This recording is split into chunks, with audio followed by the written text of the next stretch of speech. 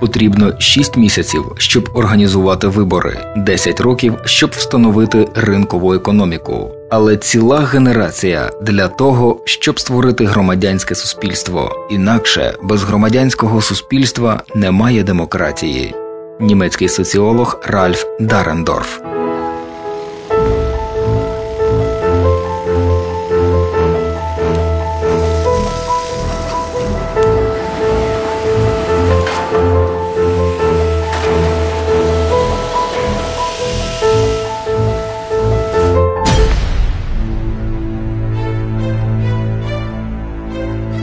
На зламі 80-х-90-х країнами Східної Європи та Прибалтики лавиною прокотились оксамитові революції. Під їх натиском падали тоталітарні режими, а звільнені держави ставали на шлях демократії.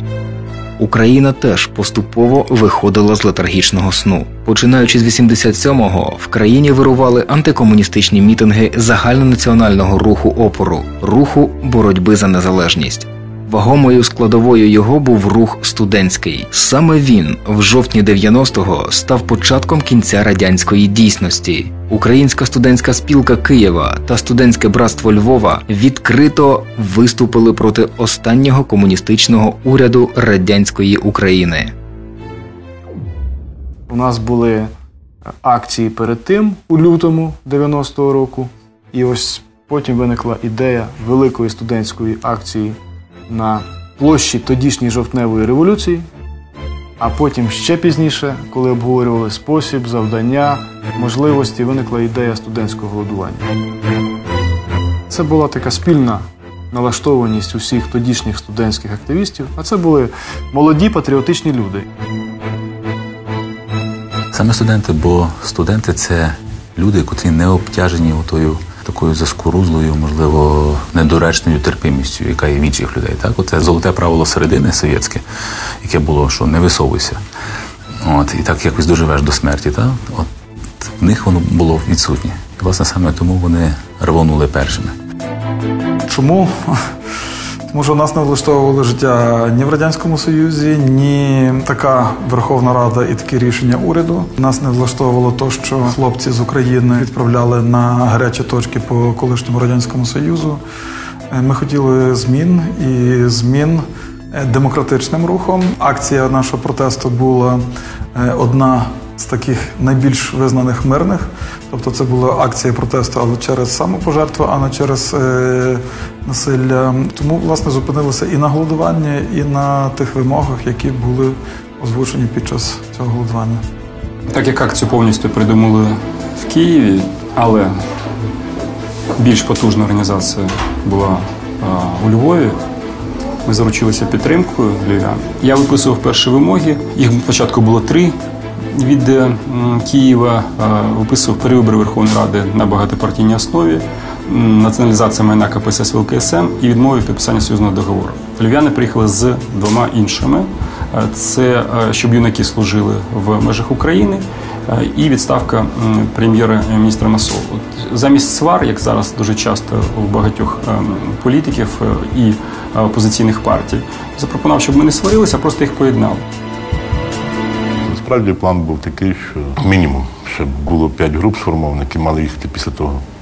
Першу частину забрали, я не знаю, посадили в тюрму, там, викинули назад до своїх міст. Приїжджає друга частина, це мала бути така перманентна акція голодування. Найважливіші цілі, яку ми ставилися, все-таки пробудити і ну, проголосити принципи і бажання там незалежності держави.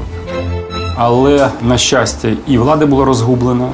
Міліція не очікувала е, від нас такої активності, і окрім того, пішла на зустріч е, президія Київської міської ради, де більшість була у е, демократів, яка вже після того, як ми поставили намети, все таки прийняла рішення, що на чотирьох центральних площах Києва можна проводити акції без санкцій. З формальної точки зору вони дали добро на проведення акцій.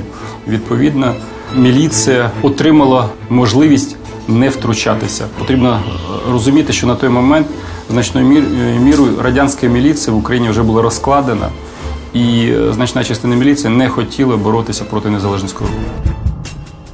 Я зайшов в кімнату до майбутнього коменданта табору голодуючих Тараса Карпало. Застав, що він, значить, е, там простирадло рве на такі стяжки для голодування. От, і при цьому напучує молодого хлопчика, там у нас був такий Сергій Дамаскін з Дніпропетровська, який казав, що «Ну, мені треба їхати додому, мене мама там чекає, взагалі в мене навчання в училищі. Він каже, слухай, яке навчання, яка мама? Ти будеш брати участь в акції твого життя, а ти тут мені щось розказуєш. Так що давай припиняй ці всі розмови і готуйся, і їдемо на Майдан. Час іде, людям холодно. З 10.30 оголошено голодування. Акція розпочалася.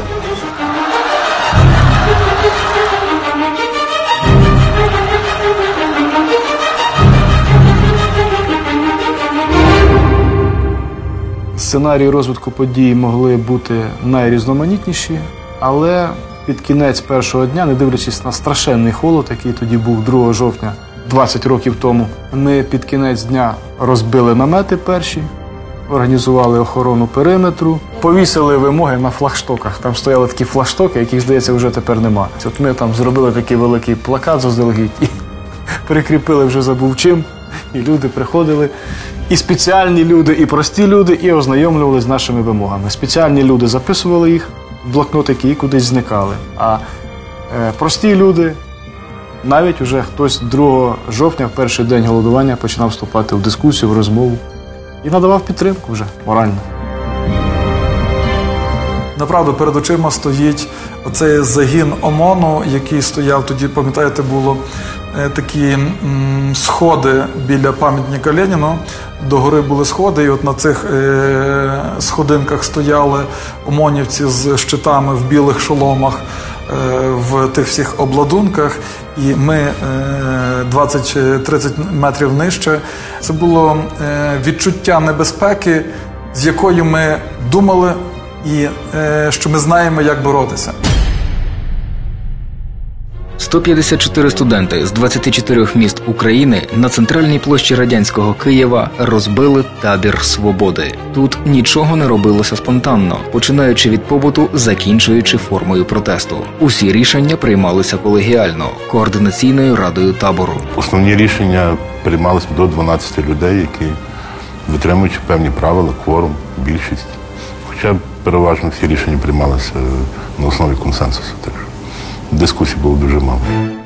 Були зміни, тобто було чергування, була охорона, медична служба, інформаційна служба. Тобто все було достатньо так, ну я би не сказав, що так воєнізовано, та, але, але з певним досвідом і там, тої армійської служби, яка в нас була, що дисципліна, порядок це дуже важливо. Так. Кожен учасник акції реєструвався і мав перепустку. Спілкування з міліцією лягло на плечі керівника охорони табору Андріана Кліща. Медичною службою табору керували Тарас Семущак та Олег Тягнебок. Зв'язок з мас-медіа налагоджувала інформаційна служба Сергій Бащук та Олег Кузан. Головне наше завдання було більш агітаційний і енергетичний вплив на українське суспільство. І е, в першу чергу, звичайно, особливо на той час існував один, одне державне телебачення. Здається, два канали мало, і перший канал, звичайно, дивилися ну, всі люди, які цікавилися якимись подіями там е, в суспільстві. І ми про це розуміли, і ми кілька разів е, пробували дістатись туди. Потяглися довгі осінні дні і ночі на холодному граніті. а на дворі дощ. Вечір пізньої осени похилився над містом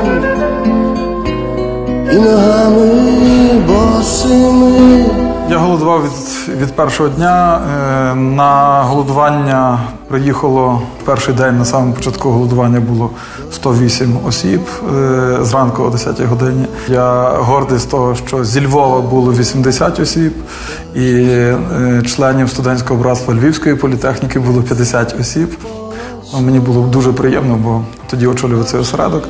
Але голодування припинив на дев'ятий день, оскільки необхідно було, скажімо так, підсилити е, акції протесту по інших містах.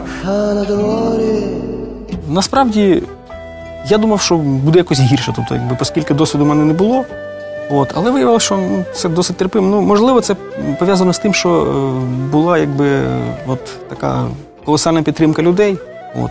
Навколо були твої товариші. Це якби ну, завжди якби, набагато легше. Охоронці ходили в чорних пов'язках, голодуючі в білих.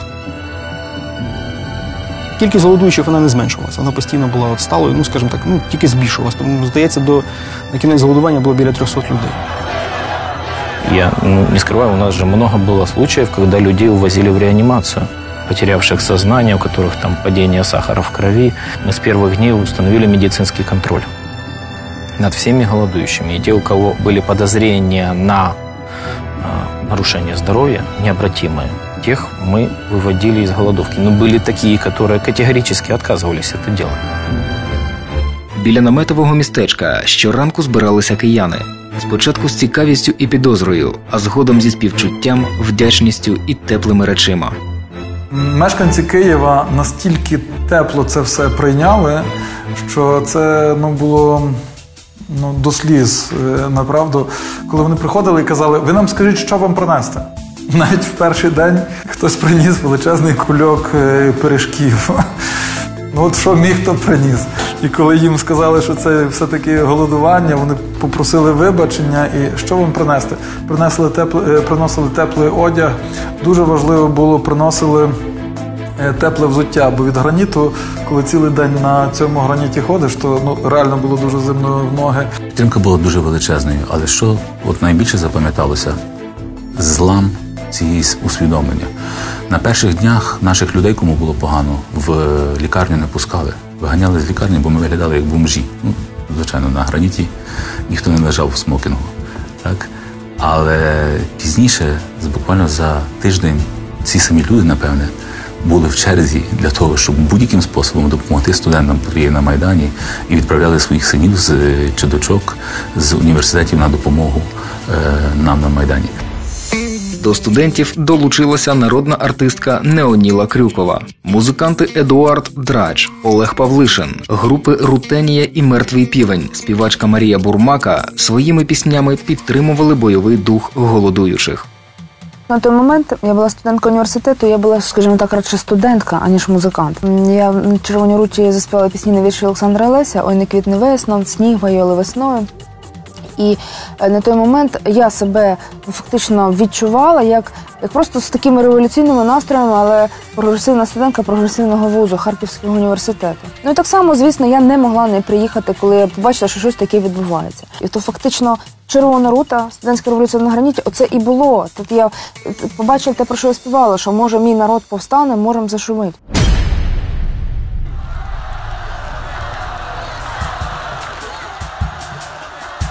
Незважаючи на те, що кожного дня на майдан приїжджали нові групи молоді, студентський Київ лише співчував. Тому з гучномовцями в руках групи голодуючих щоранку розходилися по вузах столиці і закликали до підтримки своїх вимог. Десь числа 7-8, коли фізичні сили були значно слабші, аніж на початку. Але кожен день е, студенти з Майдану йшли до університетів, до підприємств для того, щоб закликати, закликати до підтримки. І прямо на лекціях ми заходили і оголошували свої вимоги, послання до студентів і заклик до підтримки. Ну, в 70% випадків лектор припиняв лекцію і давав можливість сказати все, що ми хотіли. У нас було по двоє, по троє. Цілі такі команди із табору голодуючих приїздили. После первой недели акции, когда мы начали свое движение, мы решили направить представителей лагеря нашего а, на места. То есть вот я, допустим, выезжал в город Днепропетровск для агитации, то есть для объяснения причин, позиции нашей с приглашением поддержать нас и на местах. А, Я хочу сказать, что было приятно. э, И в Днепропетровске проходили митинги, и в Днепродзержинске, кстати, была даже, там, по-моему, однодневная забастовка. Была в ВУЗе в по- нашу поддержку. То же самое происходило э, в некоторых городах Востока, и это уже было ну, маленькой победой. Ну і звісно, що коли я просто приїхала в Харків, то я тут же почала підбурювати студентів свого університету теж виходити на вулицю. Бо як же ж там же студенти всі вийшли, а ми. Тоді не було інтернету, не було такого сполучення, не було такої комунікації, на жаль. Але студенти вийшли і брали участь, ініціювали участь І, власне, ці всі студентські якісь такі от рухи, вони часто були ініційовані мною. Мене викликали в різні відділи університету і проводили зі мною розмови. Е, Деякі викладачі, які я, яких я поважала, е, але як виявилося, такої радянської закалки, вони не підтримали ці ініціативи. Вони мені теж казали, що Маша, ну як ти могла? Маша, ну ти ж розумієш.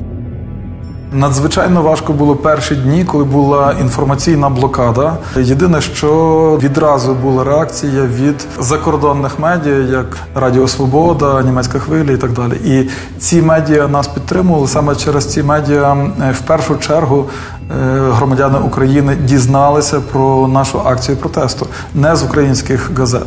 І вже потім, е, числа 6-7, почався оцей інформаційний прорив. І в нас на тому постаменті, там такому на Майдані я стояв під відкритим небом, стояв телефон. Нас дзвонили, телефонували з Чехії, з України, і відповідно засіб комунікації, бо нам вже не треба було бігати по навколо Майдану, там дві копійки кидати. Позвонили студенти з Брно, з університету Брно. І я там пригадую, один нас е, хлопець, там дзвінок, він підходить, він, очевидно, він там чергував, піднімає трубку. Що? Брно? Яке Брно? Світ з надією дивився на нас, на Україну. 8 жовтня, коли переговорна комісія Верховної Ради доповіла депутатам, що кількість голодуючих на площі вже сягнула 158 людей, і їх стан стрімко погіршується, комуністична більшість, так звана група 239, зустріла ці слова реготом, і саме цим завдала сама собі нищівного удару. Люди, які побачили справжнє обличчя провладної верхівки, почали виходити з лав КПРС. Першим про такий крок повідомив письменник Олесь Гончар. За ним 25 працівників Держтелерадіо. Лави голодуючих поповнили 10 опозиційних депутатів. Конгресмен Крістофер Кокс, який в той час перебував у Києві, сказав голові парламенту. Містере спікер, це голодування є ознакою того, що дні монолітного комуністичного режиму полічені. Ці сміливі студенти не повернуть назад. Їхня мужність, сила, рішучість пояснюються довгими стражданнями людей, які терпіли часи нелюдського пригноблення Леніним, Сталіним та їхніми наступниками. Люди Америки продовжують стояти пліч опліч з ними.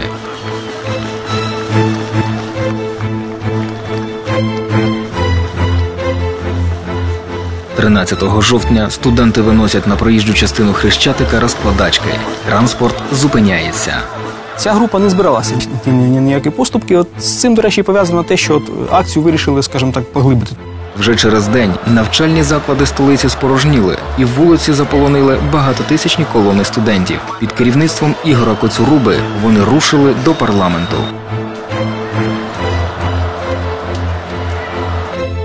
15 жовтня у Києві почався всекиївський студентський страйк. Практично ніхто ніде не вчився, і не тільки вищі навчальні заклади, але як вони тоді називали середні спеціальні навчальні заклади. Тобто технікуми, коледжі, училища також припинили заняття. І 15 жовтня було просто це була. е, Я думаю, це був найбільший наш мітинг і найбільший похід до Верховної Ради. Це було десь близько 100 тисяч людей, щонайменше.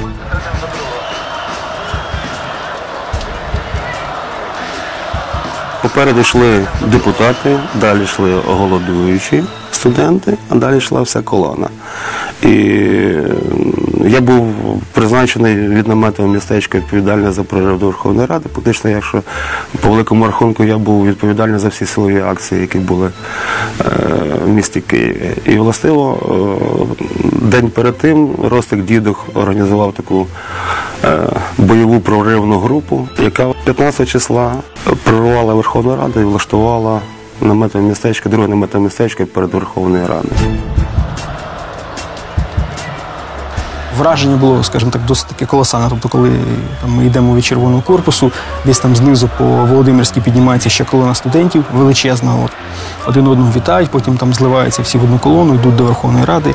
Причому, коли йдуть по вулиці Грушевського, там, типу, ця вся величезна колона студентська, і скандує Кравчук, ми вже йдемо. Типу, ну, ця студентська солідарність, вона тоді була відчутна на повну, на повну силу.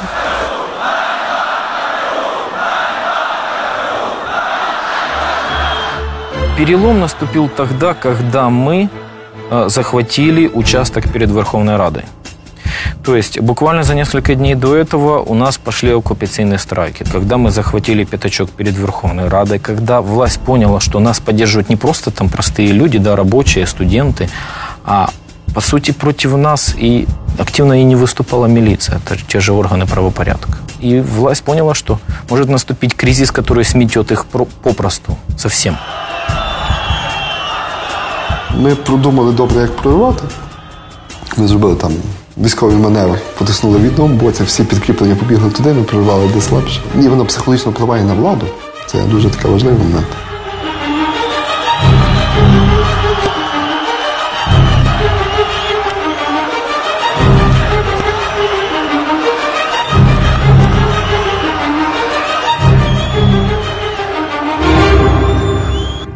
Відповідно, ми, прорвавши кордон, не встигли просто захопити Верховну Раду, але все рівно депутати були налякані і вони надали е, мені слово в сесійній залі. Вони попросили зачитати вимоги. Я сказав, що за 15 днів акції ви вже самі могли їх вивчити на пам'ять. Я попросив лише дві речі, він ж навіть не попросив, а вимагав дві речі: пряму трансляцію до студентів, які оточили Верховну Раду, і прямий ефір на телебаченні. Дав їм дві години. Они думали, что мы в результате устанем, э, не будем получать той поддержки. э, Киев, в конце концов, к нам привыкнет. Вот, и все это спустится на тормозах. А мы, в свою очередь, постоянно наращивали давление. То есть давление – это и забастовки предприятий. Это и прежде всего, я думаю, одно из последних капель, которые э, наполнили чашу победы. Это были так называемые ок- оккупационные страйки. То есть, когда э, мы захватывали здания вузов, Коли підходила колона до червоного корпусу, е, метрів за 300 е, група на чолі з Петром Шароварою е, випередила колону, заблокувала е, центральний вхід в червоний корпус. І коли, на- коли колона підійш- прийшла, вже могли сміло все решта е, студентство зайти в червоний корпус, заблокувати всі решта вхід, входи і виходи, які були в червоний корпус. Ну, знову ж таки, це, е, це робилось для того, щоб е, надихнути студентів до більш рішучої дії, до більш масштабного глобального страйку, який ми собі планували зробити. І, і бо без, без якихось більш рішучих дій ну, вплинути на Верховну Раду було практично неможливо.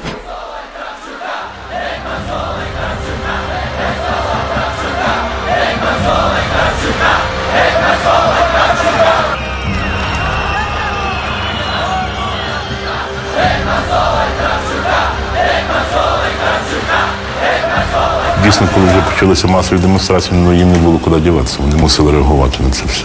І особливо після того, як було, було прорвано кордон перед Верховною Радою, і там встановлений на метовому містечку. Ну, На це вже не було як закривати очі. Тоді, відповідно, напевно, була дана команда входити в якусь дискусію, діалог, відповідно, запрошувати на телебачення і пробувати продискутовувати ці речі. Я думаю, що тодішній комуністичний режим думав таким чином знову ж таки побороти нас, бо розраховували, що ми в дискусії будемо програвати.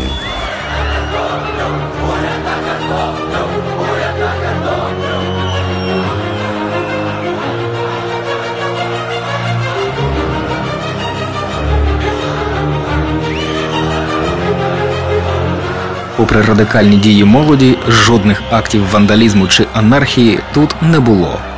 Після того, як пішла інформація, що ми захопили університет, Верховна Рада, коли усвідомила, що студенти почали захоплювати державні споруди, вони здалися і вони нам дали годину прямого ефіру, що було ще їхньою помилкою. Вдруге, ми підійшли колонами телебачення після захоплення університету. Дуже фантастичний був епізод момент, коли ми пройшли вже перший там кордон, нас пропустили за цю вертушку, здається. І до мене підійшов якийсь, е, здається, полковник чи підполковник міліції і каже, йдемо зі мною. І ми так зайшли під з боку сходів, там в холі на хрещатку є такі сходи. І він каже, потиснув руку, каже, ми ці хлопці тримайтеся, ми з вами. Плюс ми пішли на лівий берег аж. Агітувати робітників, приєднуватись. Ну, єдність поколінь. А на лівий берег до нас ніхто не ходив. Ні народний рух, ніхто. Дійшли аж до Ленінградської площі. Колона розтягнулася, е, по суті, від Печерська до Ленінградської площі. Уявляєте, яка це кількість людей? повз міст Патона, пішки, ходили туди, по колу назад. Друга група пішла на арсенал і стала величезним пікетом агітувати робітників арсеналу. Ну, сприйняття було різне, як ви розумієте, бо тоді ж ціла дискусія була в країні про її майбутнє, чи імперія, чи незалежність, але більшість людей нас підтримувала, особливо на лівому березі. Я думаю, що саме це сполошило владу остаточно. І на наступний день до студентського страйку були готові підключатися в прямому розумінні фабрики, заводи. Для Верховної Ради це був е, кінець. Вони зрозуміли, що це вже не, не лише студентський страйк, бо на той момент е, зупинився весь студентський Київ і не лише Київ. Але якщо зупинялися би ще і заводи, і залізниці, це був крах влади. І тому вони були змушені піти на зустріч. І вони 16 жовтня провели весь день у переговорах із нами, а 17 жовтня під вечір було без обговорення. Ухвалено той текст проекту постанови, який повністю задовольняв наших представників, які вели переговори.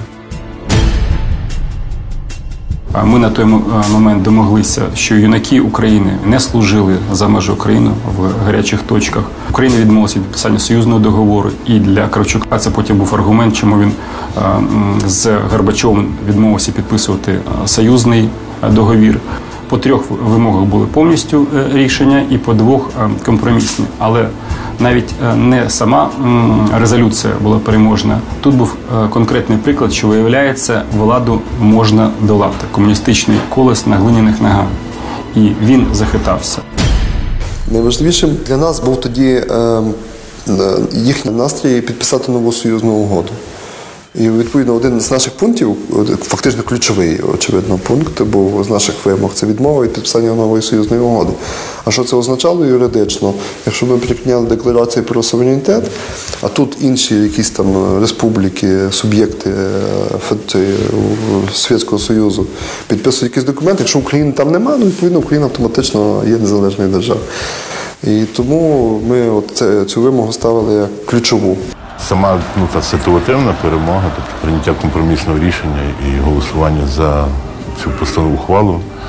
Ну, я думаю, що це в певній мірі це був страх, тому що на вулиці вже було там понад 100 тисяч студентів. Вже починали створитися страйкові комітети по підприємствах. Вже арсенал був на поготові вийти. Ну і зрозуміло, що коли ну, поки що студенти бунтують, так, це, це ще так, а коли вже старші дітки вийдуть на вулицю, це дійсно могло просто в такому радикальному режимі звалити цей режим. Тому, напевно, було прийнято рішення комуністичною верхівкою про пошук компромісу і ухвалення цієї постанови, достатньо, де були достатньо радикальні вимоги. Ну, зрозуміло, що вони не думали їх виконувати. Тут все залежало насправді від Верховної від Народної Ради, яка би мала дотиснути ці питання. Студенти надали шанс. Ми зробили від себе все належне, все, що від нас залежало. А країна не спромоглася цим шансом скористатися. І це, звичайно, прикро. Ну, знаєте, перемога вона окрилює, надихає, окрилює, дає сил. І здається відчуття, що от, ну, справедливість є, що за нею варто боротися, і що е, якщо ти от, власне чогось досягаєш, що це насправді перемога. Ну і вже потім стало зрозуміло, що таких перемог має бути багато, і то іти ще довго. Я глибоко переконаний, з кожним роком все більше стаю переконаний у цьому, що якби її не було, незалежність би 91-го року так просто не далася. Ситуація вже була настільки переломною, що реально е, ми з Києва повернулися в іншу Україну.